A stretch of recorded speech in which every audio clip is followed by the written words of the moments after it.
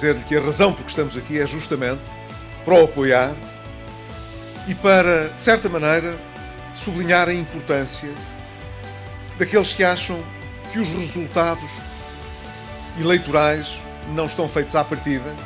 Pelo contrário, as eleições são meios muito honestos em democracia para que possamos debater as nossas ideias, apresentar os nossos projetos e confrontar os cidadãos com as escolhas que têm de fazer para o futuro.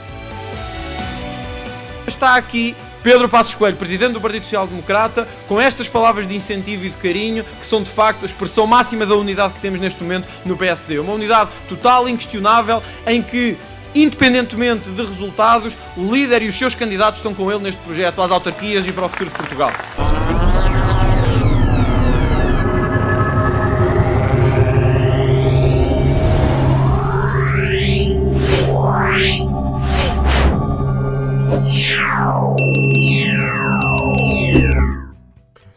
Malta, sejam muito bem-vindos a mais um vídeo. Eu deixei-vos esta intro que Autárticas 2017, não é? Onde Pedro Passos Coelho, não é? Uh, esteve na, apresenta apresentação da candidatura do Sr. André Ventura, nessa altura ele ainda era da direita, embora não extremista, não é? E até deu umas palavrinhas de agradecimento ao Pedro Passos Coelho. Vocês viram bem pelo título a queda de uh, André Ventura. Muitos podem não perceber esta afirmação, mas eu passo a explicar esta afirmação. Primeiro de tudo, 82% dos portugueses votam contra o Chega. Pronto, eu acho que isso aí mostra logo o seguinte. Agora, o Chega está de peito feito porque conseguiu algo histórico, não é? conseguiu em 5 anos da sua existência, conseguiu alcançar um número de deputados algo imaginável uh, no Parlamento, mas a verdade é que conseguiu à conta de 1 milhão e 100 epá, garotos. Isto para, não, isto para não dizer outra palavra, para não ofender ninguém, estão a perceber?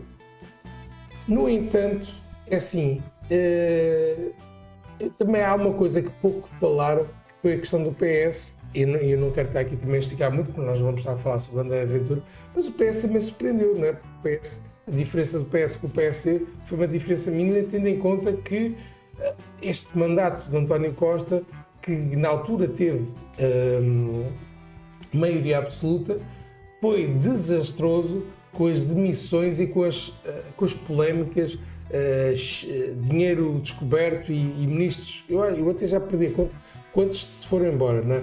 Por isso é assim, no meio disto tudo, aqui não tenho os números exatos, mas também temos uns quantos ignorantes uh, em Portugal que votaram pelo, pelo, pelo Partido Socialista. Uh, agora, outra coisa, eu se bem, eu, eu tentei ver esse vídeo, mas não estou a conseguir, e eu se bem me lembro, eu tenho quase certeza que André Ventura, quando se colocou neste partido Chega, né, ele sempre disse que não queria ter coligações. Mas isso era no início, de, de, de, de toda esta caminhada. Uh, epá, por, um, por um lado, eu acho que tenho que dizer isto: um, um, eh, um partido dessa dimensão, em pouco tempo, em cinco anos, conseguiu ter eh, a evolução que teve, mas volta a reforçar: 82% dos portugueses votaram contra o Chega, okay? não votaram que o Chega tivesse. Agora, o PSD ganhou, mas infelizmente não ganhou com maioria absoluta.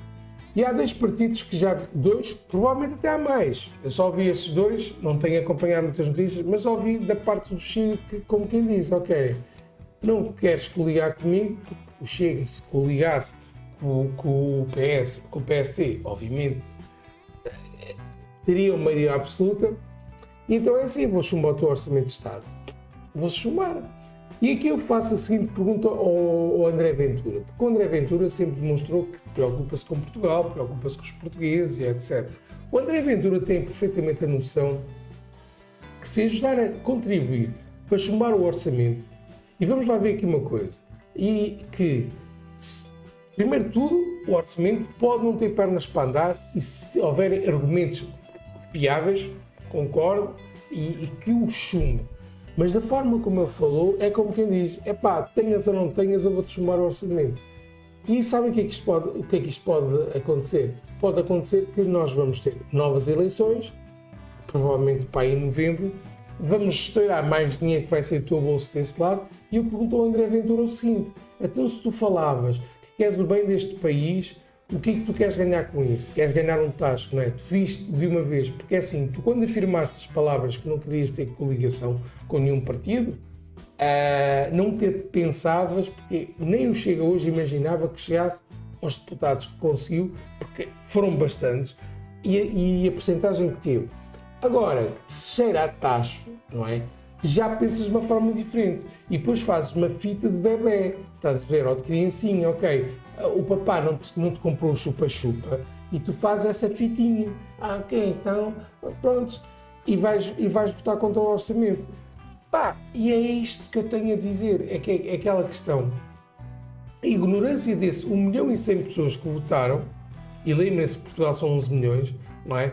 Por isso, 82% não é louco, ou pelo menos ainda não é louco, e nas minhas previsões acredito que o Chega, o Chega poderá chegar aos 21% e não estancar aí.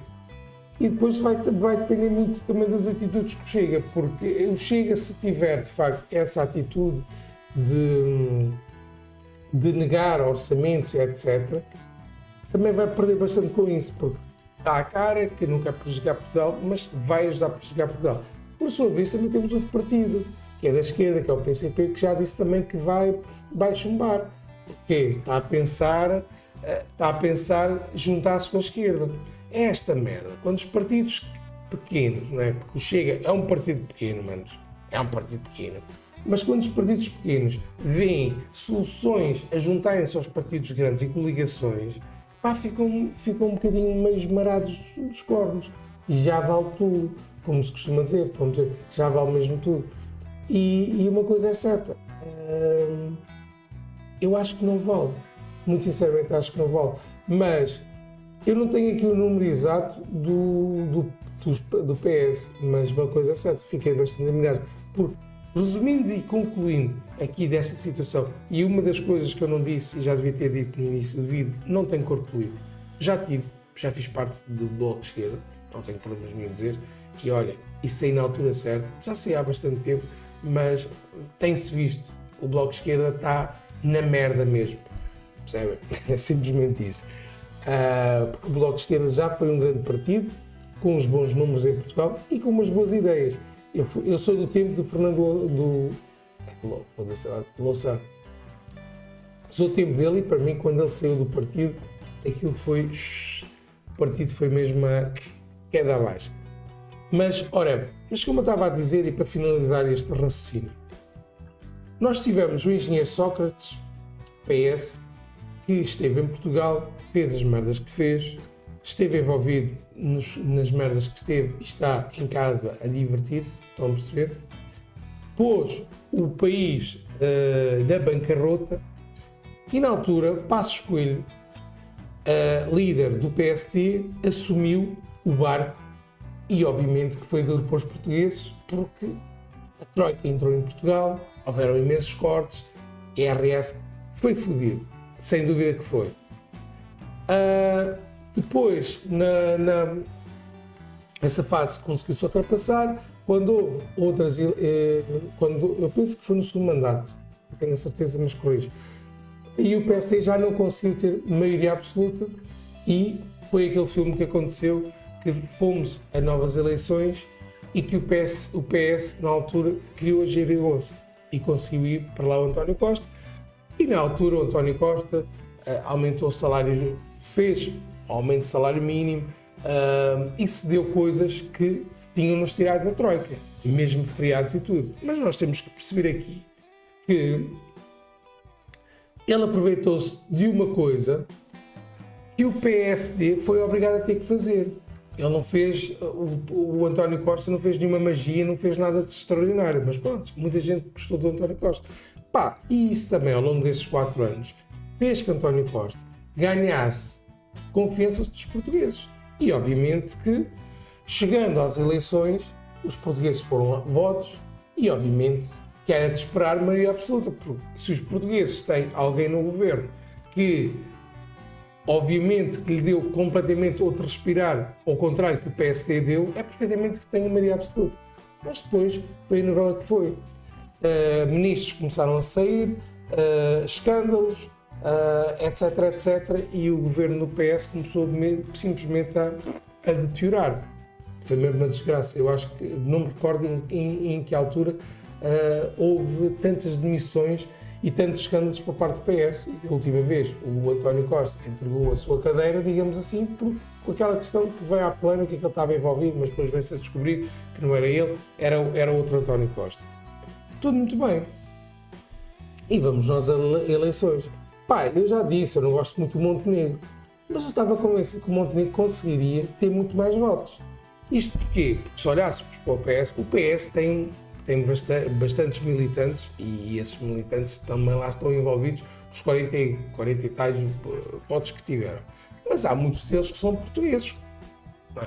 Pá, portugueses, como quem diz, são, é povo, não é povo que é militante, que paga as, as cotas do PS, é povo que chegou ali, ok, vou votar no PS, estão a perceber? E a pergunta que eu faço é o seguinte: como é que é possível, perante esta última uh, legislatura do António Costa, que nem chegou ao fim do mandato, como é que é possível estes portugueses terem, terem feito isto?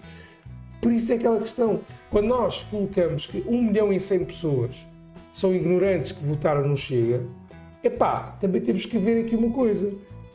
Houve também um quanto mais que um milhão, obviamente, que votaram no PS também estupidamente, ignorantes porque o PS, não é? Que, que, e, e, mais, vocês votaram no, no, no, Pedro, Pedro, ai caralho, foda-se, estás mesmo esquecido.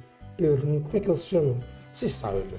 Vocês votaram num gajo que esteve lá no António Costa e teve as merdas que teve. Pedro Nuno Santos, acho que é isso, Pedro Nuno Santos. Estão a perceber? Por isso é que eu perguntei que eu digo, onde é que estamos com a cabeça? Mas pronto, fugindo um bocadinho à questão e voltando ao André Ventura outra vez, Pá, eu acho que uma graça é isto. E eu volto a realçar. O André Ventura, se for se levar isto avante com a questão, ok, nós vamos chumbar o orçamento porque é naquela, tu não te queres coligar, coligar comigo, está a ter uma atitude de puto e está a prejudicar Portugal. E as palavras todas que ele disse no passado está, está a ser contraditório. Realçando que em todos os debates televisivos que houveram, o André Ventura foi sempre aquele deputado, aquele, aquele deputado não, aquele líder do partido que sempre foi mal educado.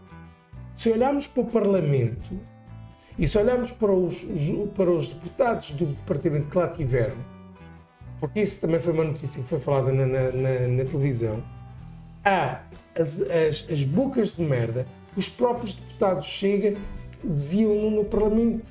Percebe? Por isso estamos a falar de um parlamento, de um, de um parlamento estamos a falar de um partido sem, sem um partido de merda mesmo, sem escrúpulo.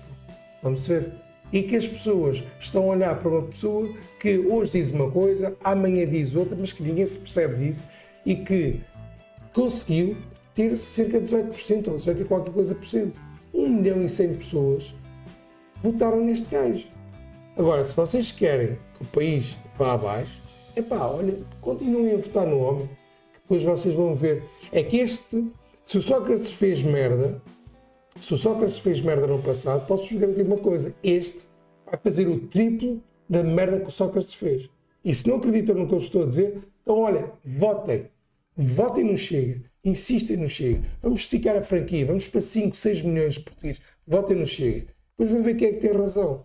Pá, Dormir à noite, como diz um grande amigo meu brasileiro. Tchau.